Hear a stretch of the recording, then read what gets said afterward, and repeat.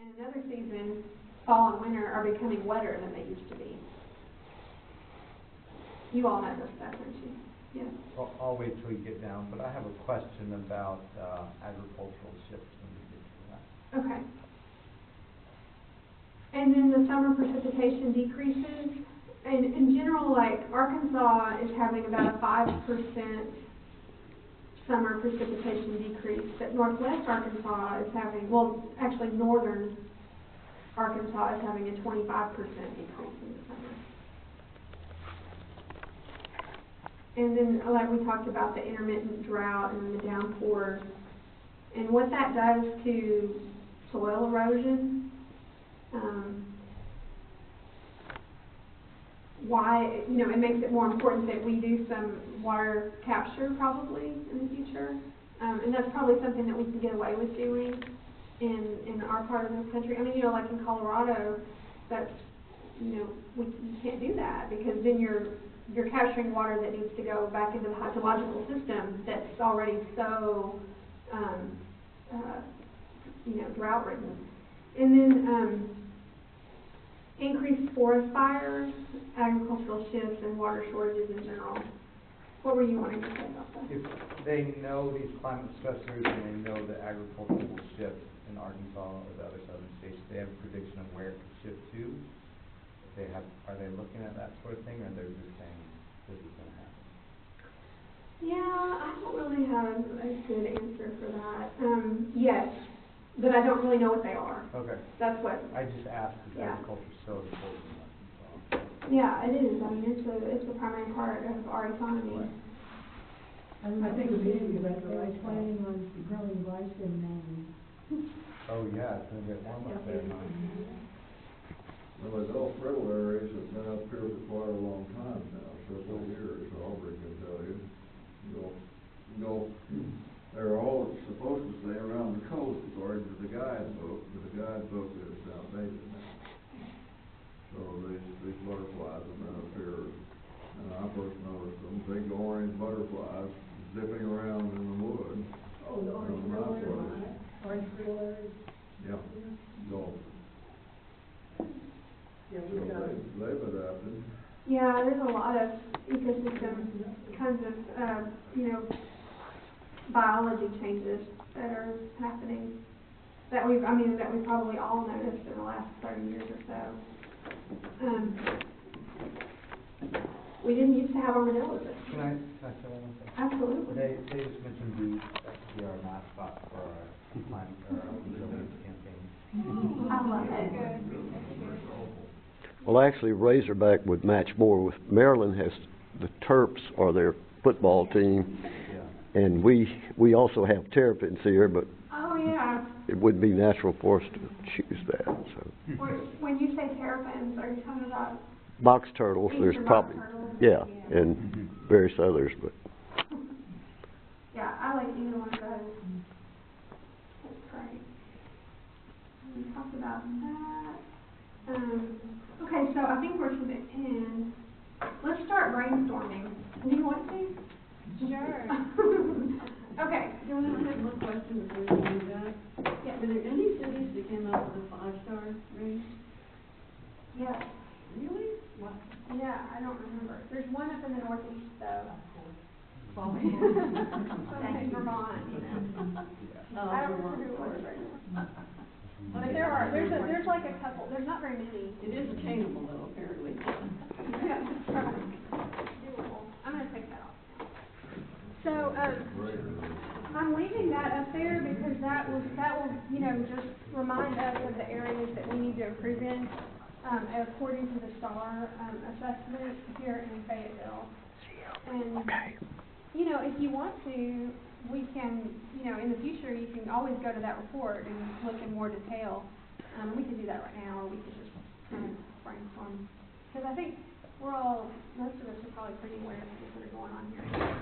What do you think about, um, um, chairs over there? Yeah, let's, yeah, let's, also- yeah, let's move. Yeah, make yourself comfortable for sure.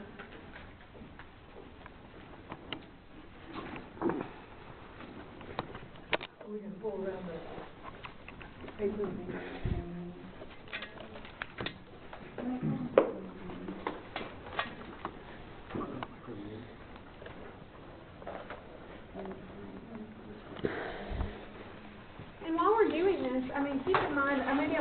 For that purpose. See, we did need this, Shelley. Um, keep in mind some of the climate stressors for this area too. So keep those in mind, like, um, tornado. We can include them.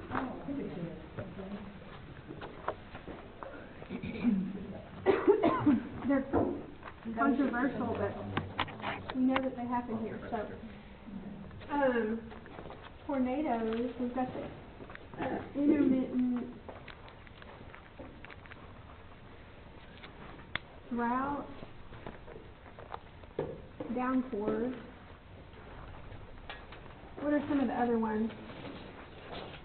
There are a lot of trees dying in the woods, and that's of course intermittent droughts, but living out in the mountains where we do, Ice we storms. got good. Yeah, that's on good. ice. Ice storms. Increased temperature, the list always is around Yeah. temperature. I know, increased heat. Uh, Trees are being killed by bugs too, because of, I mean, these are all I'm- I'm symptoms gonna of, put, I'm not um, sure which ones we ought to put in there. forest, stress, and fires. Because all of those things increase the risk for forest fires too. And we're losing sequestration capacity too. Um. Are we showing a trend towards less precipitation o- over a long period of time? Or is It's it kind just of, more in, in? it's like, it's leveling out. Okay. Because we're getting less precipitation, um, in the summer, so you have like So it's just erratic, not. Yeah, it's erratic. We When summer, summer droughts, and we're having increased precipitation in the winter and fall as relative to what we used to have. That, we keep a count of how much rain we get yearly, Yeah, and we see that it is still way up there. But we have gotten anywhere from thirty-five inches per year up to sixty inches per year.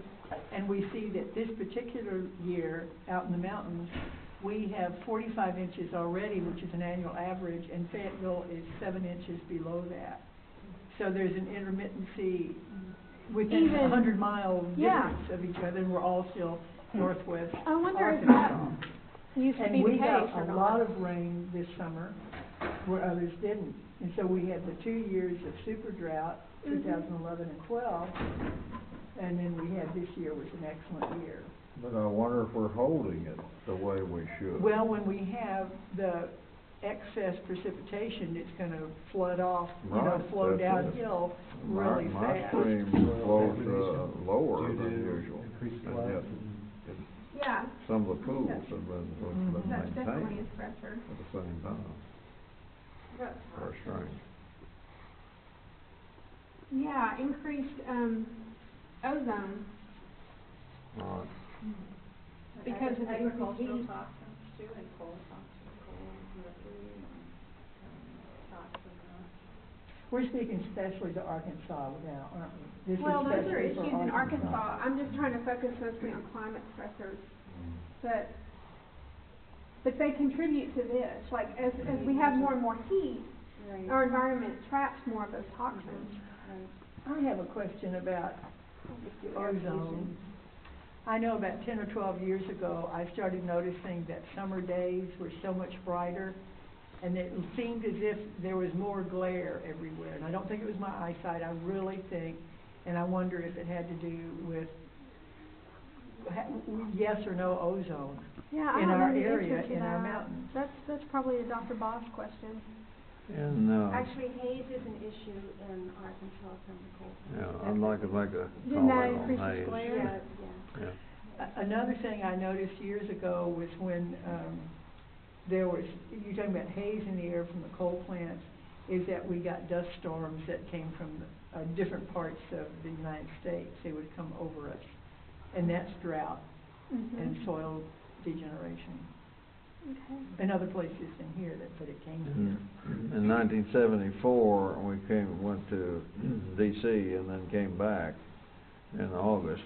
And, uh, the air, the first clear air, it was blue, so blue you could hardly see across the Key Bridge in DC. And when we got back here, the first clear air I saw was when we climbed up and, into our valley here.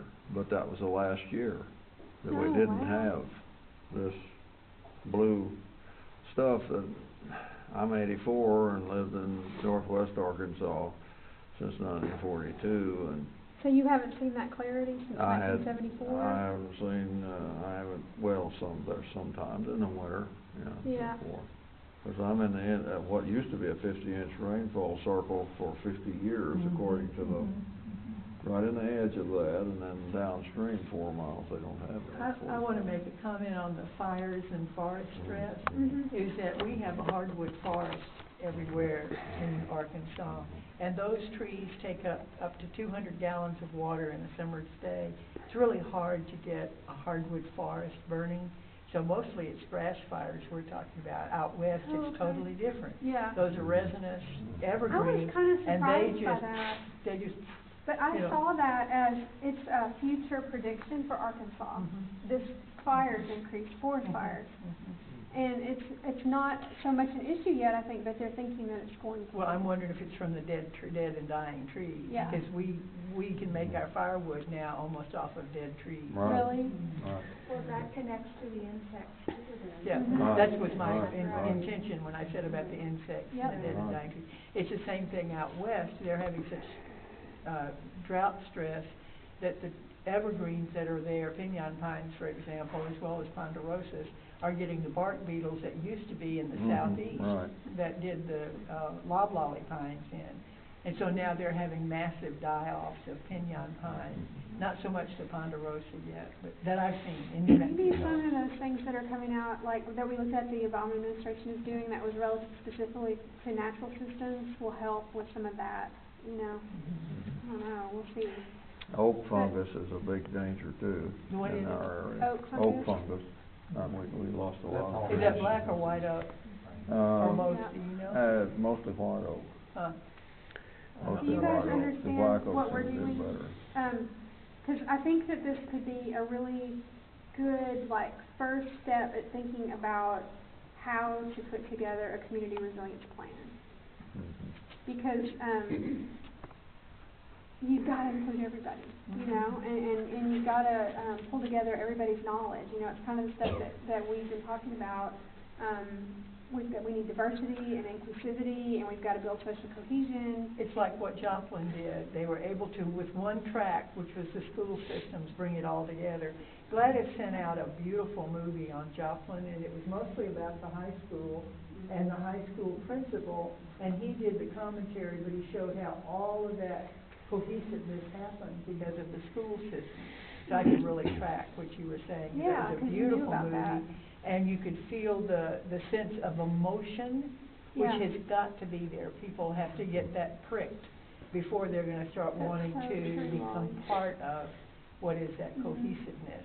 Yeah, you you have to s- have a sense of the potential loss and. It's like nothing happens until a crisis comes, and then we respond beautifully Mhm. to disaster. Mhm.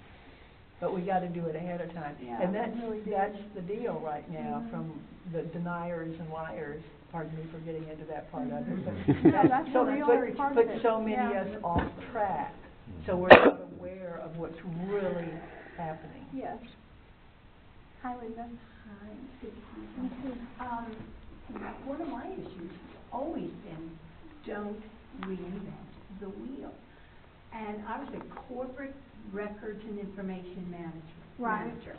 And one of the biggest parts of my job was disaster preparedness and recovery. Companies have their own best interest at heart, and they've got really good people Yeah. to rely on. We need to make our corporate partners a big part of it. They have the experience, especially insurance companies. They lose the most, they have the most to lose, and with all the stuff in Florida, uh, Florida and everything, even maybe somebody from the military.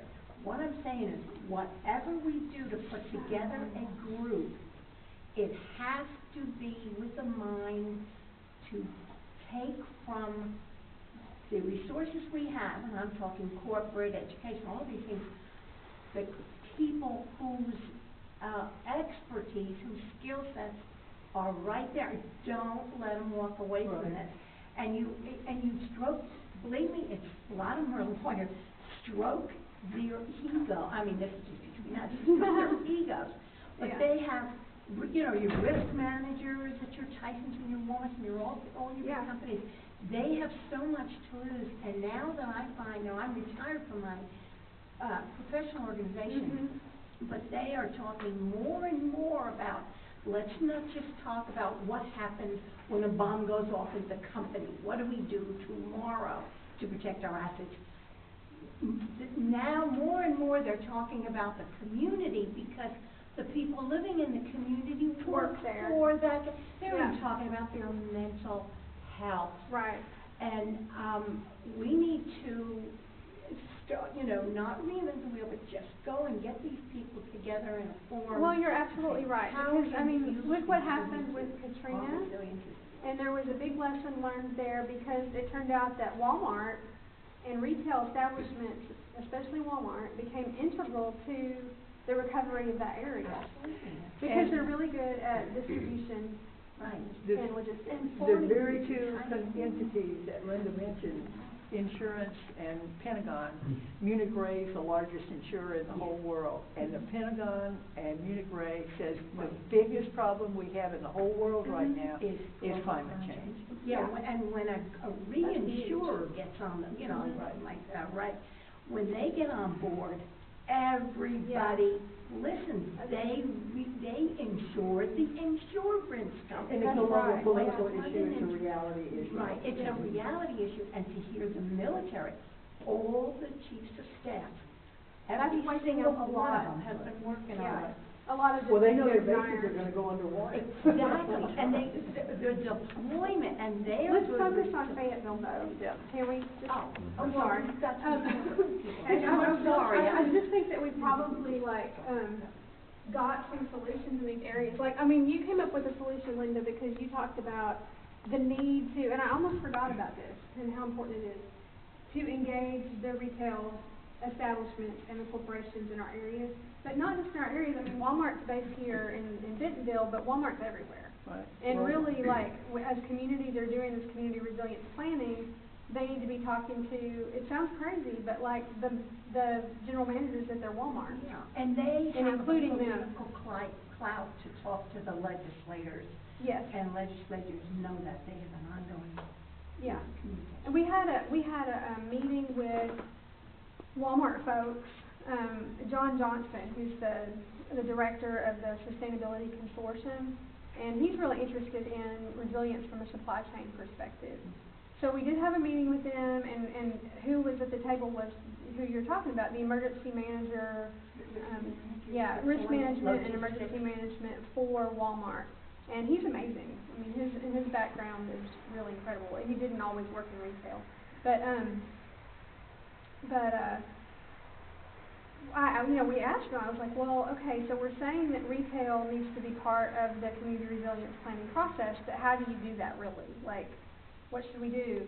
And so I asked some of the higher ups at Walmart, you know, and they said, well, you know, the communities need to be, um, talking to the general managers of the stores.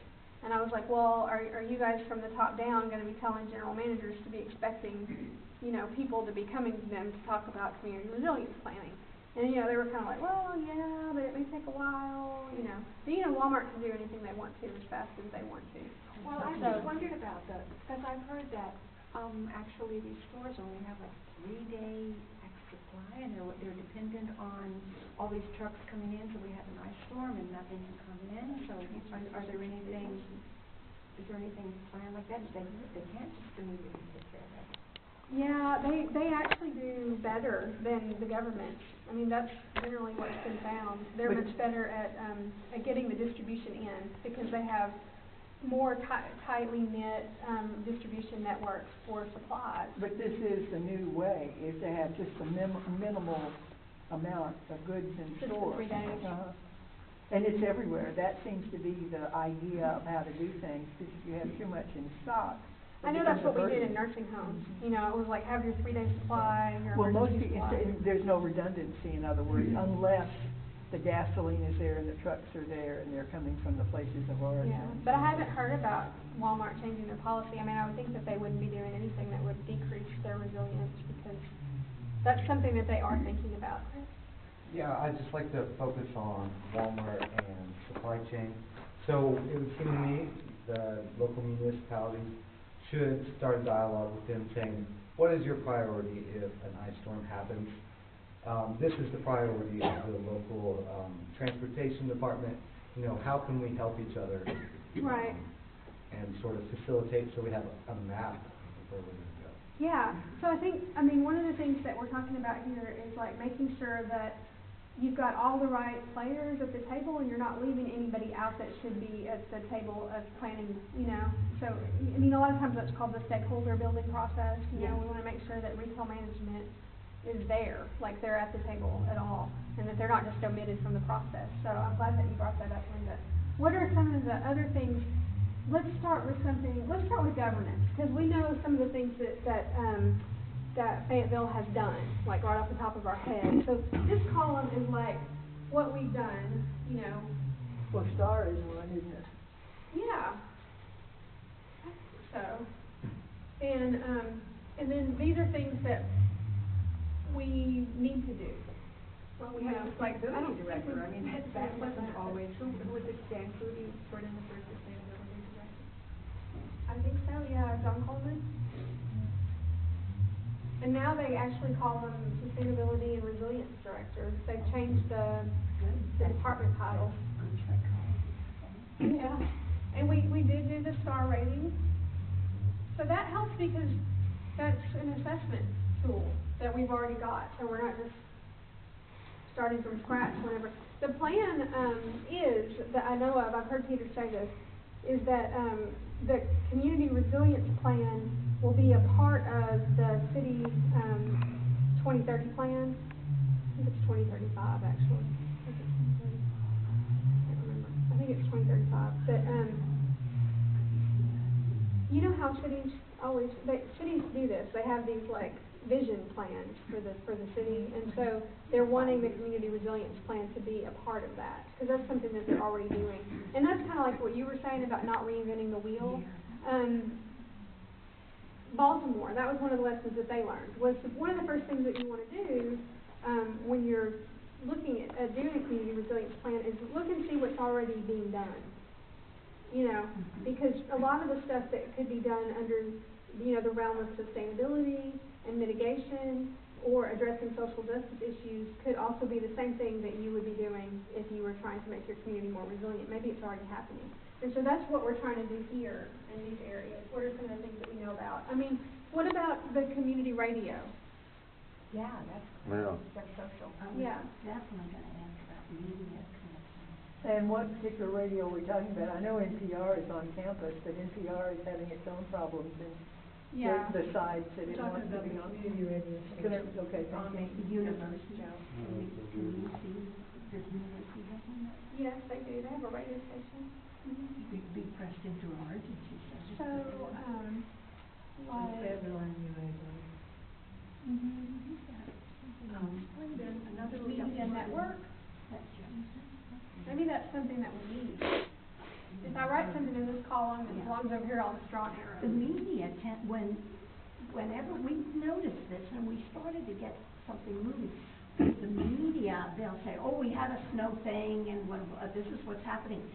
Nobody in the media, one lousy weather guy should be saying, connecting it to the global climate pattern, and they don't. That we, and we tend to do this, we all do this. We tend to think of us. We do not think of the interconnectivity. So, oh, A, I'll bet a lot of people in Fayetteville do not know about the star rating. It- they should be, you know, tooting their own horn three out of five. But the media should know more about it too, because this is something you have to grow from them. You're gonna have to grow from the bottom up. And people have to be aware of it before they start asking about, So before like they start stars making should be on demands grid, of government. you know, like we need more, um, communication integration. You know? It's, pe- people don't know that, they don't care. All they think, and then you say global warming, it's a, it, it has become a political issue. Right. And it shouldn't be, it is a survival Ju- And the, and the church community's doing the same kind of thing. Everybody on the same booking page. Could take a while. Is there a marketing campaign through the sustainability department for outreach and mar- like education outreach for the city, promote itself? You can start it in school. Yeah, the schools are really. Junior colleges. Mhm. Well, I mean, I guess, Chris, there is, but maybe it's just not as effective as it could be. Like, you What can go to the city website. But are they going out and talking to people, telling people, like putting out signs, you know? I mean, that would seem like a really good idea, Yeah. just to get people involved, aware. Where, where would, what would that look like? Like, more, Governance more and community social. outreach from the, from the city? Okay. Um, the, there's a church of Latter-day Saints in, Fa- in Be- Bentonville, and every year they have a survival thing. And it has gotten so, that you can't get near there, you can't park mm-hmm. there.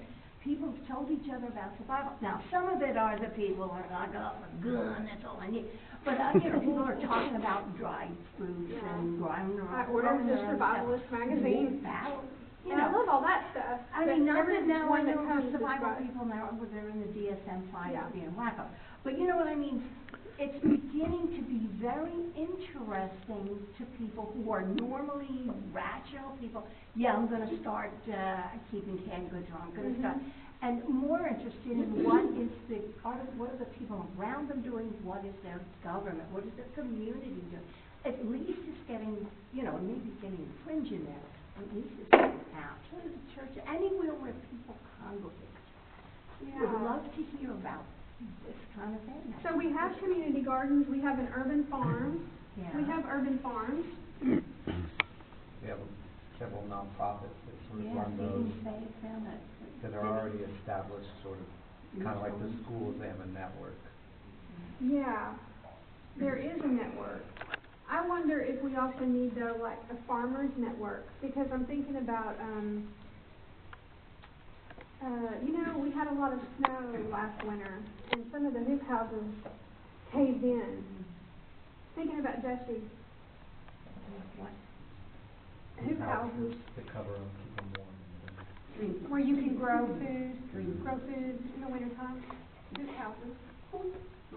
I'm sorry, I'm They're like little greenhouses, tiny Oh, how greenhouses. cute. Some of them are, be big those are, greenhouses. Oh, okay. I'm those are sorry. row covered, Row but the hoop houses New are York bigger. kid, so I don't you know, even know that. It's like a greenhouse, but it's made with, um, like PVC pipe and plastic. Oh, it's not So the cheaper. chickens. And easy to put up fast, it's cheaper and easy to put up fast. Yeah, but they, a lot of times will cave in if they get too much snow on them, depending on how they're built. It's a huge problem.